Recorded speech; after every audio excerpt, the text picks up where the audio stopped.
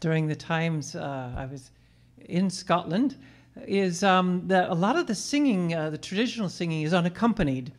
And it was great to, to sing songs without playing along. And so I've got the next one is un- an unaccompanied one.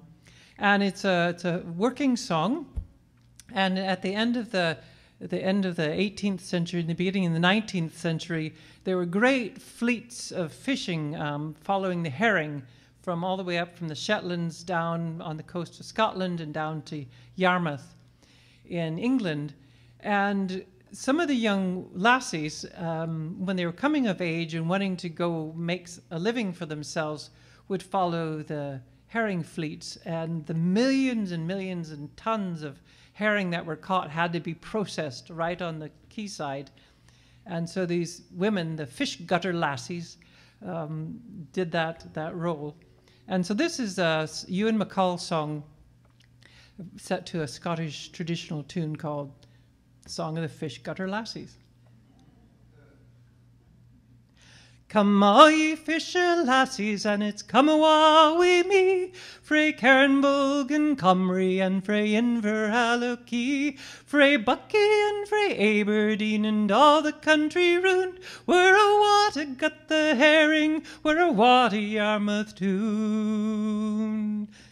Rise early in the morning with your bundle in your hand. Be at the station early, or you'll surely have to stand. Take plenty to eat and a kettle for your tea, or you'll maybe die of hunger on the way to Yarmouth Quay.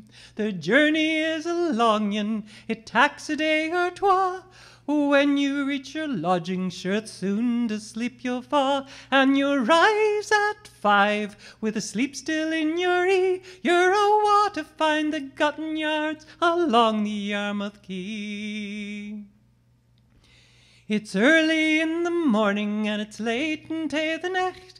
Your hands are cutting chappet, they look an uncouth and you greet like a wain when you stick them in the bree, and you wish you were a thousand miles away from Yarmouth Quay. There's coopers, there's curers, there's buyers can eat cheels, lassies at the pickling and others at the creels, and you'll wish all the fish had been left in the sea by the time you finished gutting herring on the Yarmouth Quay.